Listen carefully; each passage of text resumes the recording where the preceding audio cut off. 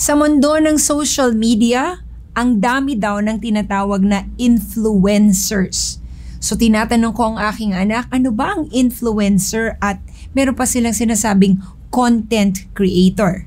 Pag ikaw daw ay influencer, ang dami mong followers, ang dami mong likes, ang daming sumusubaybay sa'yo, kahit na nga yung content na ginawa mo ay hindi masyado maganda, basta influencer ka, kumain ka lang, naglakad ka lang, sobrang daming views na. Paano na po kaya ang mangyayari kung ang hinahayaan natin na mag-influence ng buhay natin ay kung sino-sino na lang? Sa ganitong panahon na pabago-bago, hindi mo alam kung sino may sakit at kung may sakit ka, ano ang iyong gagawin.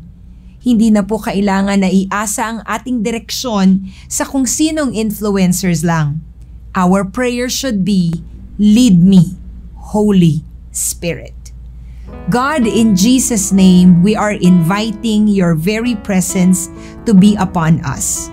Kayo po ang gumabay sa amin, hindi po namin alam kung ano ang gagawin, Ilid mo po kami sa tamang sitwasyon, sa tamang tao, at kung ano ang pag-iisip na tama para magkaroon ng maayos na pamumuhay ang bawat isa sa amin. Sa lahat po ng mga heads ng mga companies, heads ng mga institutions, heads ng families, Lord, we are praying for their wisdom that is based on the leadership of our Holy Spirit.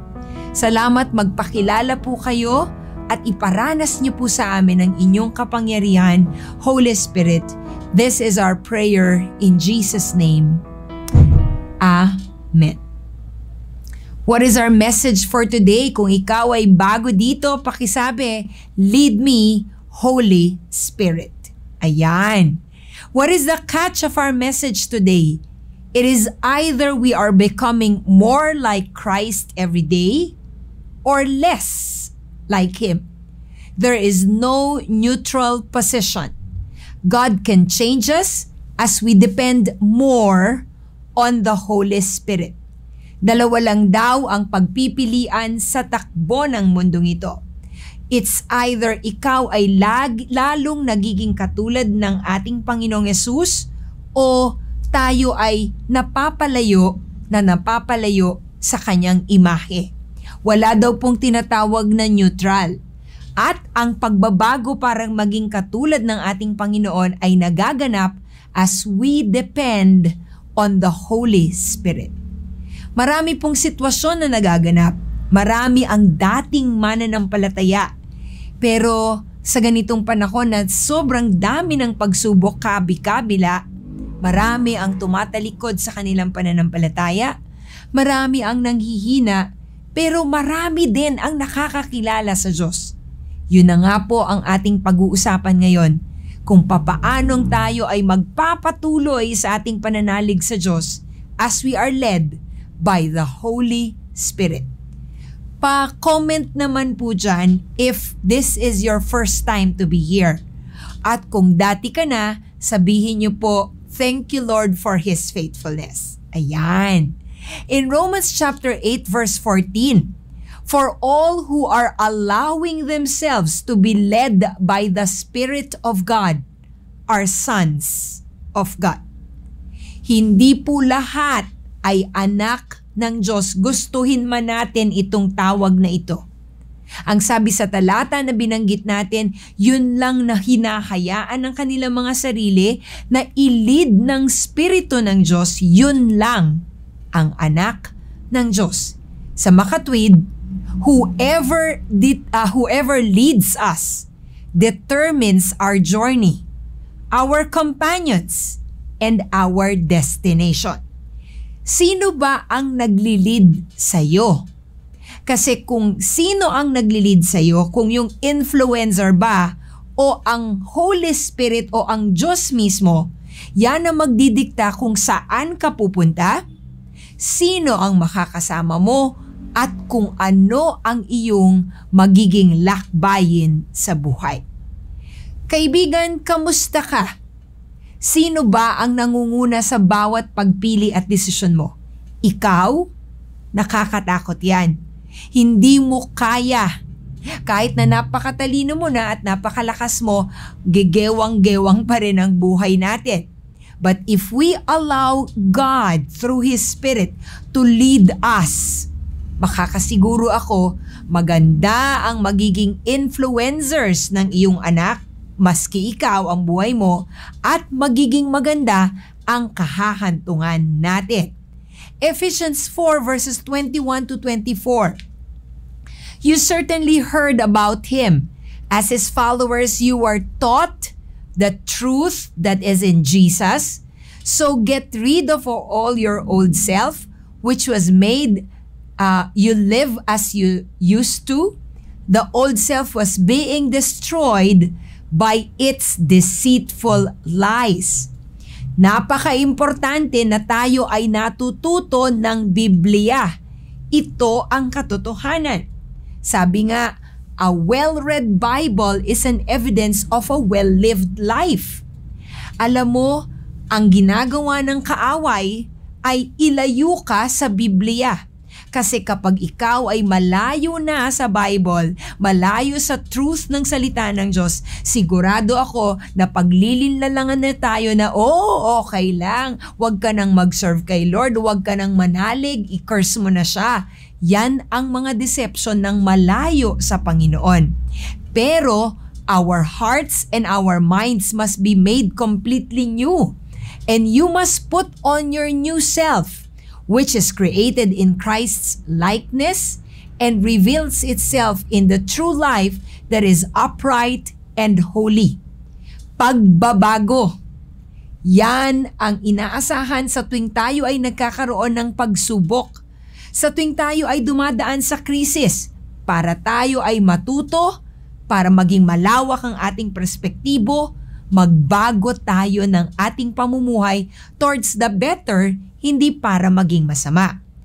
Christ-likeness. Sabihin nga po, i-chat naman para meron naman po akong kasabay dito. Christ-likeness. God's ultimate uh, goal is not our comfort, but our character. Yan yung Christ-likeness. Made ready for heaven, united with our fellow believers in Jesus. Ang nais ng Diyos mabago ang ating mga pag-uugali. Maging katulad ng kanyang anak. Di ba sinasabi natin, anak tayo ng Diyos. Eh, ka, ka, di ba si Jesus anak din ng Diyos? So magkakamukha tayo. Pero hindi po yun madali. Pero bakit kailangan ng Christ-likeness? Kasi hindi tayo magtatagal sa lupa. Meron tayong final destination na eternity. At hindi bagay doon ang mga ugaling hindi ayos. Kaya tayo nire-ready ng Panginoon, binabago niya tayo at kasama ng lahat ng kanyang mga iba pong mga anak na naging tapat sa kanya. John 15 verses 26 to 27.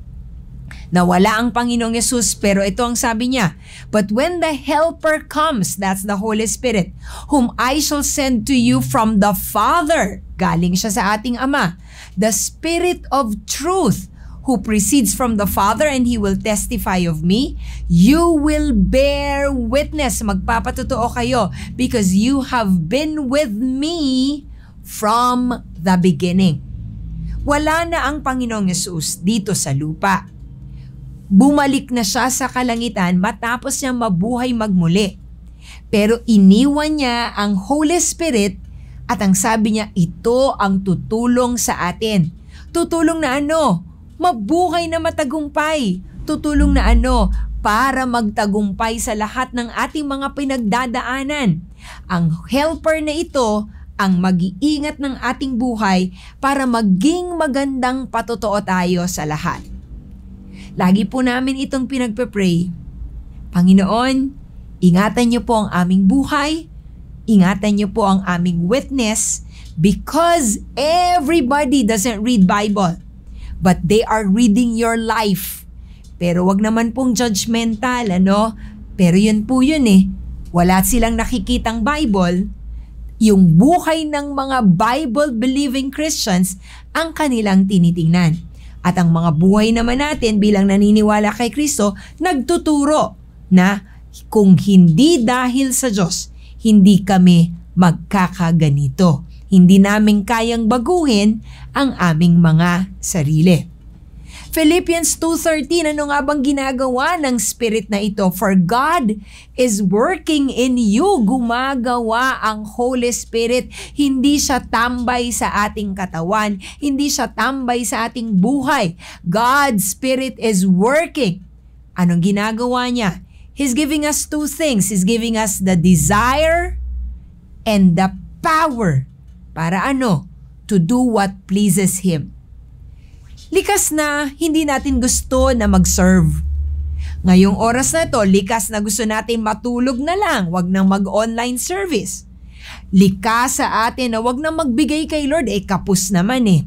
Likas sa atin na wag nang magpatawad kasi nasasaktan tayo, yan ang likas. Yan ang natural. But if God is with us, and if His Holy Spirit is moving in us, He will give us two things as mentioned. He will give us the desire, pagnanasa na maggawa ng mabuti, and He will give us the power para yung ninanasa natin ay magawa natin. Kung tayo lang, wala. But as the Holy Spirit is moving in us, siya ang nagbibigay ng desire, oh, mag-worship ka na. Oh, ibigay mo ang para kay Lord. Oh, magtiwala ka sa Diyos, huwag kang susuko. Oh, patawarin mo yung nagkakasala sa iyo. Ang gumagawa nun, ang nagbibigay sa ng desire at nagbibigay sa ng power, walang iba kung hindi ang Holy Spirit. God changes us through His presence inside of us. Ito nga yung misteryo eh, in Colossians 1.27. Christ in you, the hope of glory. Sa mga panahong ito na nagkakaligligan ng mga pananampalataya, inu, uh, inuuga tayo kabi-kabila. Huwag tayong susuko. We are rooted in Jesus Christ. At ang dahilan kaya tayo nakakalaban at may galak pa rin sa ating puso ay ito Nasa atin ang Panginoong Yesus. At sino siya? He is the hope of glory.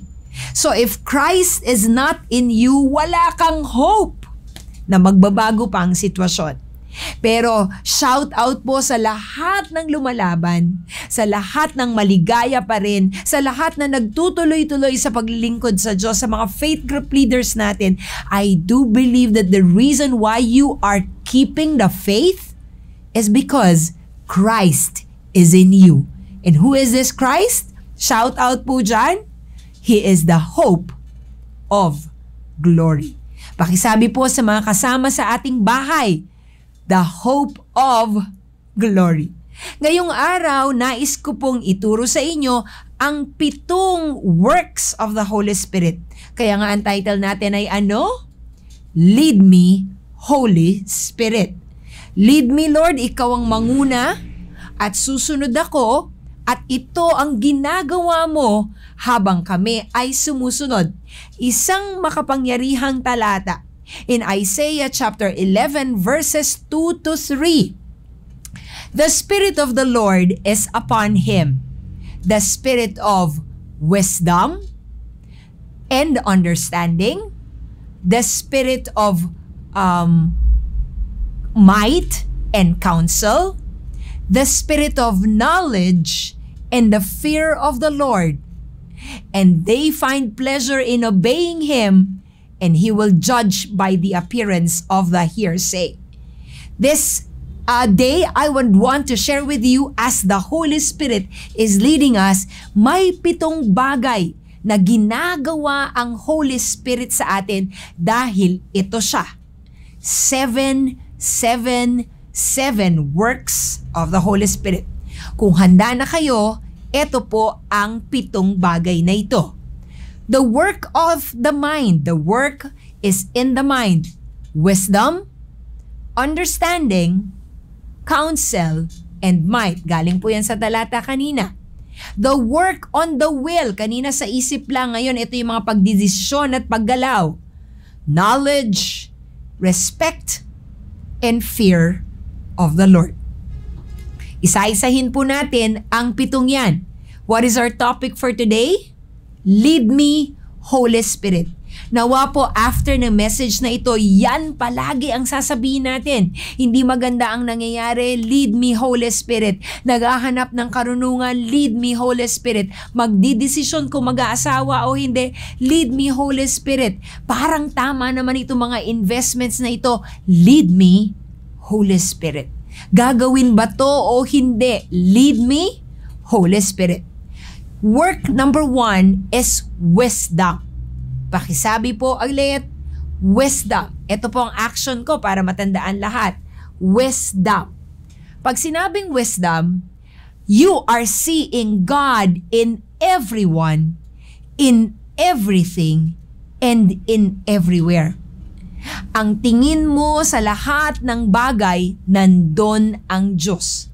Pag tumingin ka sa mga sitwasyon, hindi pangit ang nakikita mo, pangit man pero nandon ang Diyos. Pag sinabing meron kang wisdom, you value properly the things that we believe through faith. Dahil nga ang nakikita mo ay ang Diyos, pinapahalagahan mo ang mga bagay na tungkol sa Diyos. Yan ho ha, ang tingin mo ay tama ang perspective mo ay tama. Pa pag sinabi rin na wisdom, it helps us to love the world properly. Dahil tama ang tingin mo sa trabaho mo, mamahalin mo ang trabaho mo ng tama. Dahil tama ang pananaw mo sa buhay dito, yung mga success mo, yung naipundar mong bahay, yung good health mo, yung magaganda mong anak, matatalino pa, tama ang iyong tingin. The spirit uh, the spiritual world affects the natural world. So alam na alam mo pag mayroong bagay na hindi maganda sa ating paligid, may wisdom na sinasabi sa iyo, you need to pray because the spiritual world is affecting the natural world. Mga kaibigan, tamang pananaw. Ang mga taong may wisdom ginagalawan yan ng Holy Spirit. Ang ikalawang work ng Holy Spirit is understanding. Kanina, wisdom, ngayon po, understanding. Ang understanding ay kadikit ng wisdom. It leads to the practical application of what we know about our faith. Kaya nga, understanding.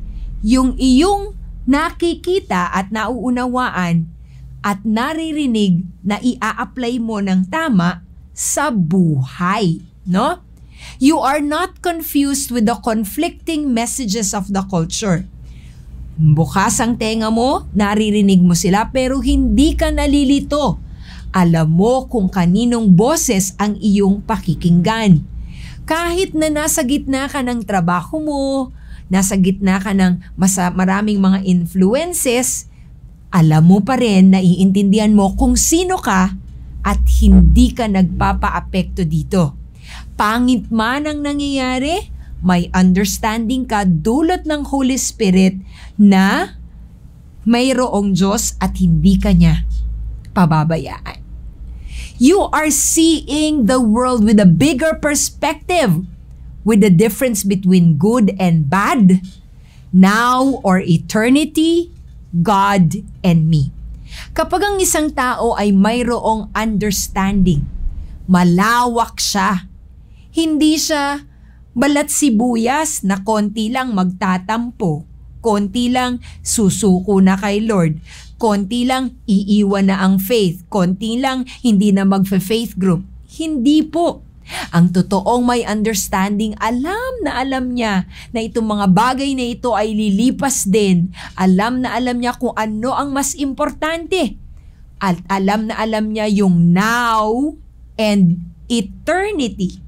Na yung hirap ngayon, now yon. Pero yung eternity, may buhay na walang hanggan.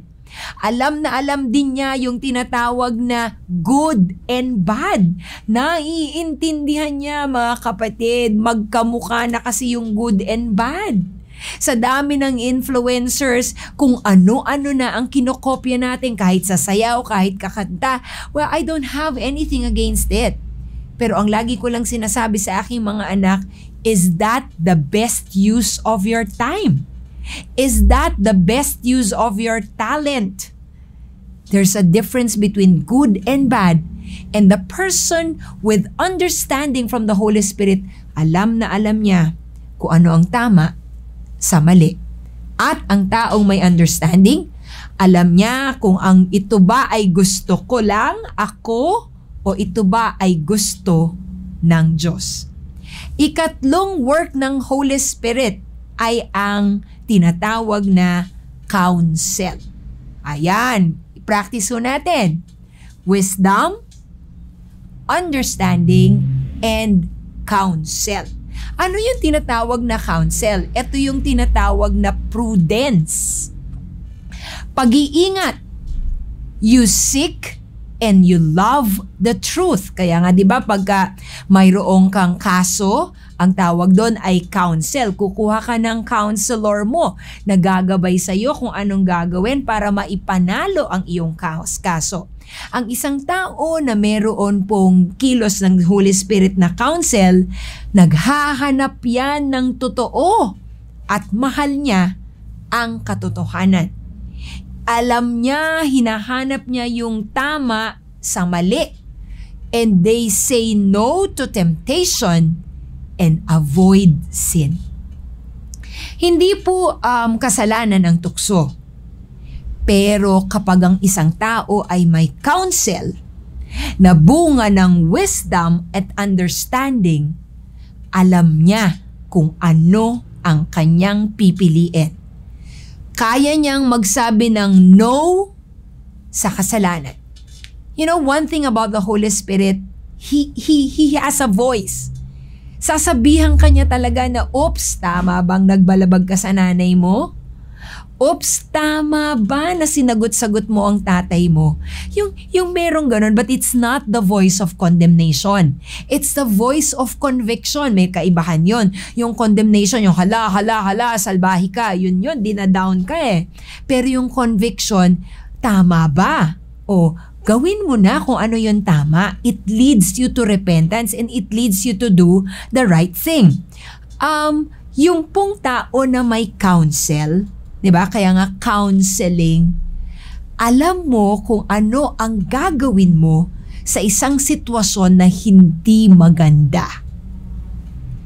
Hindi lahat ng tao alam 'yon.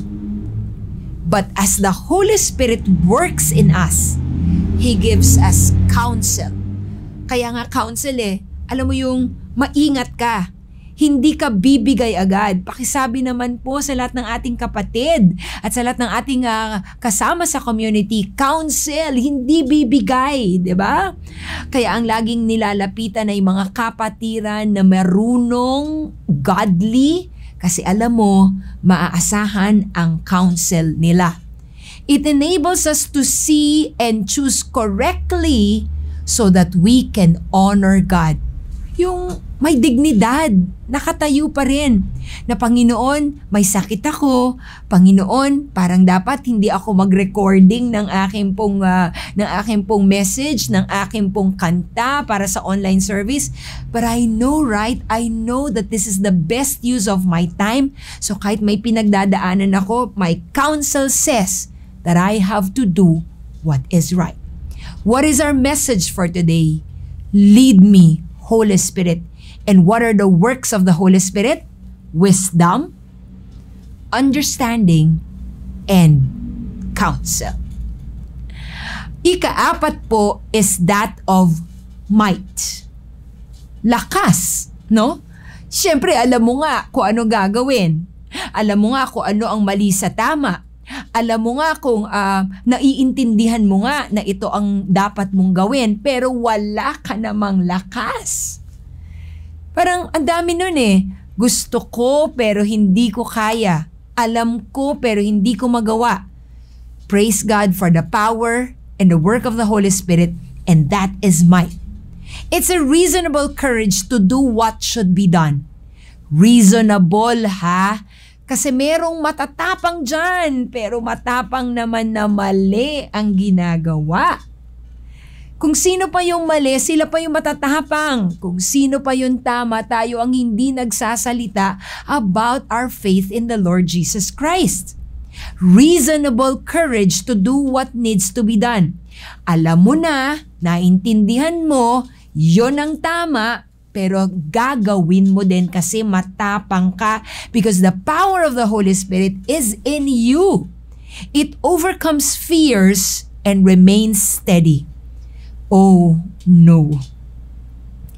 Lahat naman natatakot. Pero it takes courage. It takes the Spirit's might para mapaglabanan ng takot sa kakapray at nagiging tapat ka pa rin. Habang ang lahat bumibigay na, nagtatampo na kay Lord, ikaw malakas ka pa rin mag-pray, malakas ka pa rin mag-worship, malakas ka pa rin gumawa ng tama at mabuti. Ang tawag doon, it's the work of the Holy Spirit. Huwag pag iyaba, ibag ipagyayabang yan na hindi ikaw yan. It's the Holy Spirit who does that in your life. It's faithfulness to fight in faith and still have deep joy. I would like to salute all those believers na kahit merong COVID, na kahit merong sakit, may galak pa rin sa puso at lumalaban, knowing and believing that God is our healer, ginagawa pa rin ang lahat para mag-serve kay Lord. Ginagawa pa rin ang lahat para mag-pray ng mag-pray at ito po yung pinakamatindi. Ginagawa pa rin ang lahat para masunod ang kalooban ng Diyos. Mabuhay po kayo. Willingness to take risks in obeying God's will. But this might is not foolishness or rashness. Alam mo yung might pero still gentle? Na nag-iisip pa rin, may self-control pa rin na gagawin ng tama sa tamang panahon as we listen to the voice of God. What is our message for today? Lead me, Holy Spirit. Ano ang work ng Holy Spirit? Wisdom, naiintindihan, understanding, counsel, alam ko kung anong tama sa mali, and might, lalabanan ko ang tukso, lalabanan ko ang aking negatibong sitwasyon. In a few seconds, Please, mag-usap naman po kayong pamilya kahit ngayon lang na worship time. Alin sa apat na ito ang kailangan-kailangang ipag-pray na natin ngayon na gawin ng Holy Spirit sa buhay natin?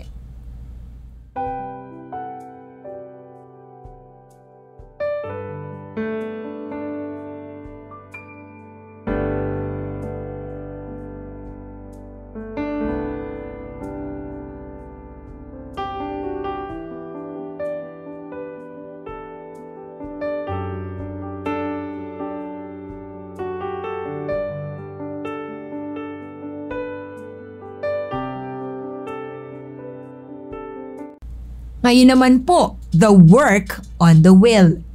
Kanina, puro sa isip. Ngayon, gagawin na natin.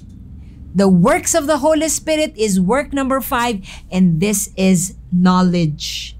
Iba yung kanina, understanding, naririnig ko, alam ko kung sino ko, alam ko kung ano ang panawagan ko, naiintindihan ko ang mga pinagdadaanan ko. But this time, knowledge. I understand the meaning of goodness and of God. Um, pag sinabing knowledge, this refers to more of the practical application of what I believe in. Alam ko kung anong gagawin. Practically, alam ko ang step 1, step 2, step 3. Ewan ko po sa inyo, pero ako'y naniniwala na ang Holy Spirit nililid niya talaga tayo as we listen to His voice. May mga panahon po akong gano'n, nagsha-shower ako, basta nagpa-pray ako, nagpa-pray ako, Lord, anong gagawin, anong gagawin. Minsan pag nagpa-pray ako, hindi agad nasasagot. But as I work, as I go in the shower, as I eat, bigla na lang merong ting, ting, meron talaga. And that is what I call as the work of the Holy Spirit, and that's giving you knowledge Seeing things practically as God wants us to see them. Pag tiningnan mo ang isang bagay, ang tingin mo talaga, yung mata ng Diyos ang ginagamit mo. Discerning the times easily and effectively so we can pursue the highest good. Kasi sabi ko nga sa inyo, parang lalo po yung mga leaders dito ng ministries, leaders ng faith group, leaders ng fam- family, leaders ng mga offices ninyo. Anong gagawin, di ba? Paano mo isusulat itong letter na ito? Paano mo tatapusin ng mga bagay-bagay? Ako po'y naniniwala na kahit sa mga menial tasks natin, God can give us knowledge yung mga estudyante dyan, na ay, di ko alam kung maniniwala kayo, but really, I was using that verse na, Lord, you will put me into remembrance.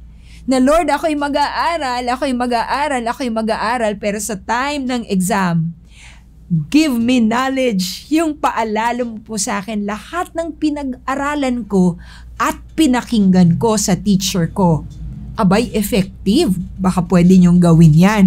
Na Lord, bless me with knowledge. Yung mga nagbe-bake, nagpipinta, di ba? For you to do those work of art. I think it's also the spirit of knowledge that comes from the Holy Spirit. Next is work number six, and that is respect. Wow! Respect. Sabihin nga natin, respect. It is reverence or deep respect. Hi, merong nagpe-pray ng pabanjing-banjing. Ay, ang saya, naka-online, nandun sa Zoom. Nag, nag, nagchat-chat pa ng mga emoticons, pero ang totoo, wala naman talaga, hindi naman nagpe-pray. Oh, wag pong ganon. Salamat, nandiyan kayo. Pero wala po kasing naging benefit yon eh oo, napasaya nyo kami na nandun o yung mga facilitators, pero kayo ang nawalan. Ang sa akin po ay ito, ang work ng Holy Spirit is to always remind us to respect and honor our God. Na anything about God, we give due respect. Family altar should be treated with respect. The Bible should be treated with respect. And another thing about respect, di ba, like sa ating mga magulang, nire-respeto natin sila, is total dependence on God.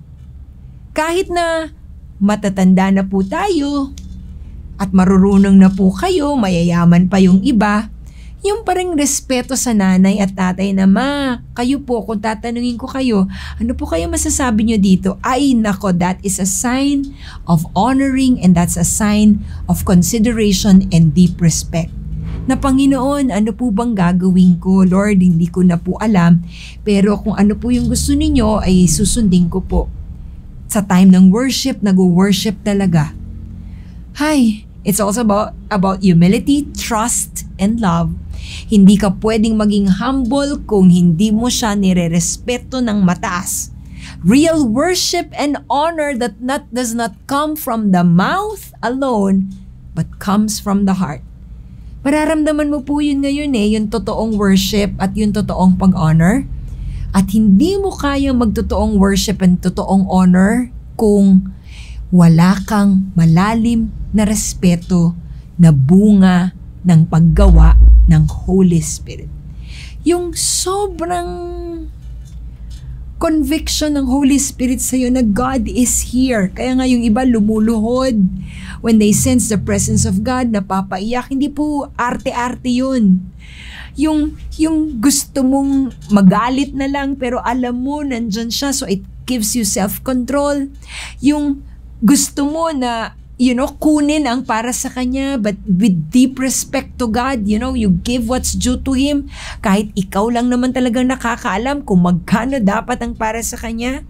Hindi po kayang gawin ng tao yan. It's just the work of the Holy Spirit to give us a sense of deep respect. Okay, kanina po sabi natin, wisdom, understanding, um, counsel, might. Next, we went to knowledge And now we're going to uh, respect and ito po ang number seven. the fear of the Lord. Oh, bakit ko po ginawang the fear of the Lord tumatakbo? Kasi po sa akin, yung pagkatakot ko sa Panginoon ay yung pagkatakot na tumakbo palayo sa mali at tumakbo papunta sa aking panawagan sa buhay. Kasi alam na alam mo that God is the perfection of all our desires.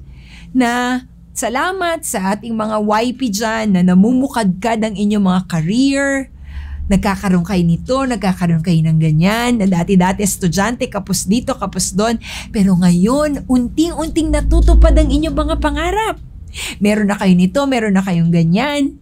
Mag-aasawa na, magkakaanak na, di ba? Ang saya. Pero tatandaan nyo ito, hindi iyan ang kabuuan ng buhay. Magiging maligaya ka, oo, pero walang katulad ang kaligayahan ng mga taong may takot sa Panginoon. Um, ang ating pong fear of the Lord din na tinatawag is connected to our hope. Kaya ka tumatakbo kahit maraming problema. Tumatakbo ka pa rin para kay Lord. Kaya ka tumatakbo sa paglilingkod sa Panginoon kahit may sakit ka ay dahil mayroon kang inaasahan na buhay na walang hanggan. Takot mo lang maiwan, di ba? Takot mo lang na hindi maranasan yung presence ni God at talikuran ka niya. Although sa totoo naman, ang sabi niya hindi niya tayo iiwan o pababayan pero mahihirapan tayo. The fear of the Lord gives us also the deep desire not to offend our God, but to please Him. Dahil dun sa banal na pagkatakot mo sa Kanya, ayaw na ayaw mong makakagawa ng isang bagay na alam mo makakasakit sa Diyos na nagmamahal sa iyo. Takot na mag-separate sa Kanya, and of course, takot sa tinatawag na punishment. Ang tanong ko sa iyo ngayon, do you still have that deep sense of fear of God? Fear of separation from God, fear of um, losing His love and His favor, but more so is, basta ayaw mo talagang mapawalay sa Kanyang presensya. Sabi ko nga noon, walang-wala ng Mitch na matitira kung mawawala pa ang Panginoon sa akin. Kaya po ang sabi sa Proverbs 1.7, The fear of the Lord, that is worshiping Him, regarding Him as truly awesome, is the beginning and the preeminent part of knowledge or wisdom. Kaya ka nakakagawa ng tama kasi meron kang fear of the Lord. Yung parang, Panginoon, ikaw yung hinahanap ko. Panginoon, ano po bang nais mo? Gusto kitang maranasan. Ayokong mapawalay sa'yo. Tatakbo ako. Hindi ako mapapagod dahil nagtitiwala ako sa'yo. Tatakbuhan ko lahat ng mga tukso at mga pumipigil sa akin because I wanna be with you. And the fear of the Lord is the beginning of wisdom. Now, ang tanong, ikaw ba, are you becoming like Jesus every day? Nito mga nangyayari sa buhay mo? Or lalo tayong napapalayo sa Kanya dahil tumitigas ang ating mga puso? In a few seconds, let's talk with our family members kung alin po sa knowledge, sa respect, o fear of the Lord ang kailangan nating hilingin sa Holy Spirit.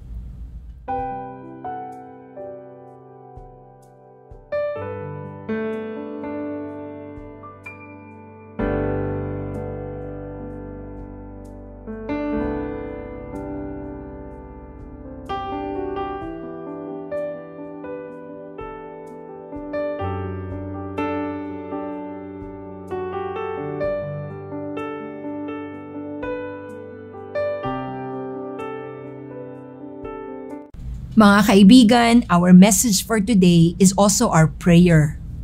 Lead me, Holy Spirit. Hindi natin alam kung saan pupunta at anong mangyayari sa ating buhay, but as we pray for the seven works of the Spirit, we are sure that we will be able to listen to His voice and we will have the power to do His will.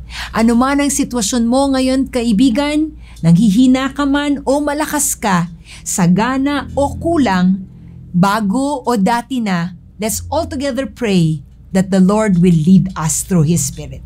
Father, in Jesus' name, yun lang po ang simple naming panalangin. Hindi kami ang mangunguna sa buhay namin kung hindi kayo. Lead our children, Holy Spirit. Lead our whole church, our faith groups, Holy Spirit. At kami mismo, hindi ang aming nais kung hindi ang kalooban ninyo ang aming masunod. Thank you Lord for giving us, Lord, all these seven, seven works ninyo, yung galaw ninyo sa aming buhay. Hinahayaan namin kayo at yung mga bago naming kasama ngayon, tatanggapin nila kayo bilang kanilang Panginoon at tagapagligtas at mararanasan nila sa mga susunod na araw at taon ang paggalaw ng banal na spirito. Winawaksi namin ang masasamang spirito, Panginoon, at hinahayaan namin na walang ibang Diyos at Panginoon ng aming buhay kung hindi po kayo. Let the conviction of the Holy Spirit be felt right now. Let the move of the Holy Spirit be experienced right now, giving us wisdom, giving us understanding, giving us counsel, giving us might, Lord, giving us knowledge, giving us deep respect, and giving us that fear of the Lord upang kami po ay maging katulad ng iyong anak na si Jesus. Maranatha, Lord, as you come very, very soon, prepare all of us with the right perspective of eternity. Bless us indeed. In Jesus' name, Amen.